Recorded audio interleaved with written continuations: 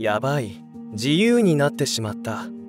自分の本能に従って生きていたらめちゃくちゃ人生が楽しくなった。願望も自然と叶っていってる。別に叶えようとしてないのに。完全に認識が変更した。10万ゲットなんだか高級車ももらえるみたい。ランボルギーニがいいな。やってることもほとんどない。ただ自分がしたいように好きなことしてるだけ。嫌いなやつとは一切関わらなかったり好きな人とだけと付き合ってる。食事も好きなものだけ食べて嫌いなものは一切食べてない。1日3食とかも別に守ってない。食べたい時に好きなものを食べる。食べたくない時には食べない。寝る時も寝たい時に寝て自然に起きるのを待ってる。目覚まし時計もセットしてねえわ。寝れない時は寝れなくていい。寝れない自分を受け入れる。起きれなかったら起きれなくていい。その時はその時で受け入れる。お金も使い放題。買いたいものを買う。いらないものは買わないし捨てる。電気とか光熱費とか全く気にしてない。俺が使いたいだけ使う。恋愛とかも好きな人がいたら速攻でアプローチしてる。相手に好かれることも何もしてねえわ。言いたいことは素直にストレートに言ってる。怒りたい時は怒ってる。本当に動物みたいになってしまった。理性とかなんすか？状態。なのに人生が最高にうまくいってる。最高に楽しい。知識とかマジでいらねつか邪魔だったわ。俺が役に立ったのは願望を叶えるために必要なことは何もない。自分の観念以外に願望実現を妨げているものはない。どんな自分であろうと完璧で愛されている。たとえ犯罪者だろうがエゴに願望を叶える力はない。〇〇しなければ三角三角できないはエゴ。自分イコール世界。これくらいかね。あとは特に。あああとこれをすれば願望が叶うっていうのはないってこと。願望を叶えるためのパターン化なんてできないのさ。勉強をすれば合格できる。でも勉強したけど合格できなかった人なんて腐るほどいる。まあもともと関係ないんだけどね。知識なんて全部捨てろ。世の中の常識や他人の言ってることなんて全部嘘だしいちいち真に受ける必要もない。どんなに成功した人や尊敬してる人の言ってることでも真に受ける必要はない。自分の好きなように考え好きなようにするのが一番さ俺にとってはね。聞きたいんですが不安や心配が襲ってきたりした時はどうしていましたか？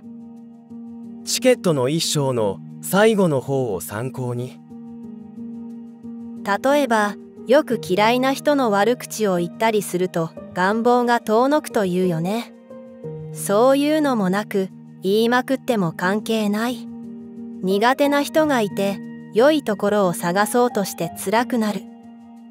へえ初めて知った。そういうのってそう言って洗脳して搾取しようとしてんじゃないの？悪口言っても願望を叶えてる人なんていくらでもいるよ。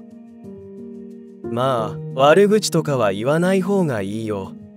自分イコール世界だから自分もダメージ受けるしダメージは受けない方がいいでしょう。自分を大切にね。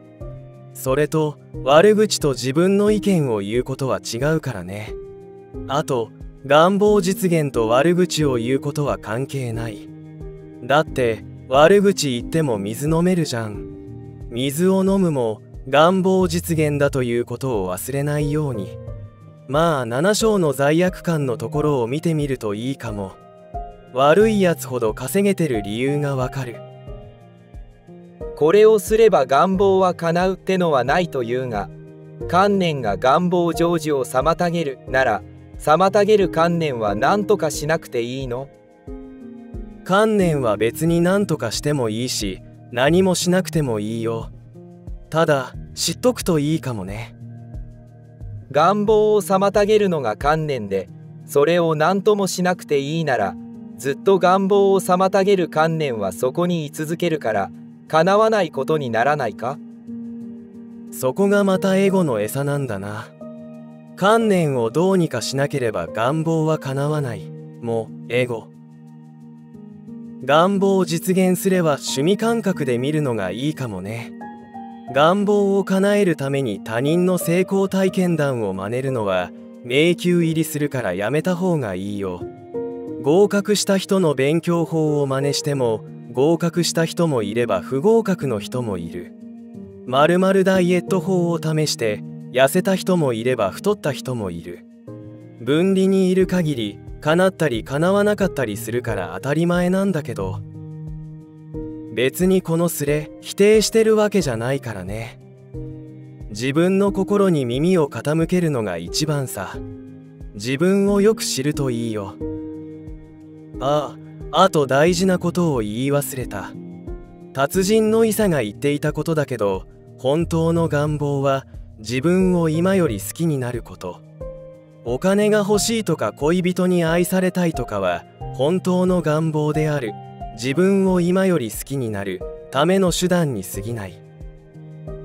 遠回しに自分を好きになったら叶うと言いたいの？そういうことじゃない。説明しにくいんだがね。慈愛と願望達成は別物。慈愛はただの慈愛慈愛を願望を叶えるためにするとハードルが上がるよ。俺が言いたいことは自分の声を聞いてあげろってことかな。方法依存症になるな。自分を大好きな愛する人との子供だと思って扱ってみな。その子供の訴えている声を聞かないでなんで達人とか成功した人とか偉い人の言葉ばっかに目を向けるの？そしてその偉い人の言ったことを子供に押し付けている。なんで子供の訴えている声を聞いてあげないの？子供は親に自分のことについて理解してほしいんだよ。とことん自分のことに興味を持ってもらいたい。自分の思ってることを親に聞いてほしい。なのに君らは子供のことを無視してまるまるメソッドやら役に立つ知識とかを押し付けている。それって愛してるって言わないだろう。親のエゴを押し付けているだけだ。試しに自分を愛する人との子供だと思って扱ってみ。君たちはどんなことをしているのだろうか。子供の訴える声を無視してるんじゃないかね。自分の子供は何が好きなのか。何が嫌いなのか。今何を感じてるのか。何を恐れているのか。何が心配なのか。何に不満を感じているのか。どういうことを思ってるのか。どういう風な人生を送りたいのか。何を欲しがってるのか。子供の訴える声をとことん聞くんだよ。そしてそれを全て受け止めてあげる。全部だよ。それが愛するってことさ。願望が叶うとか叶わないとか本当はどうでもいいんだよ。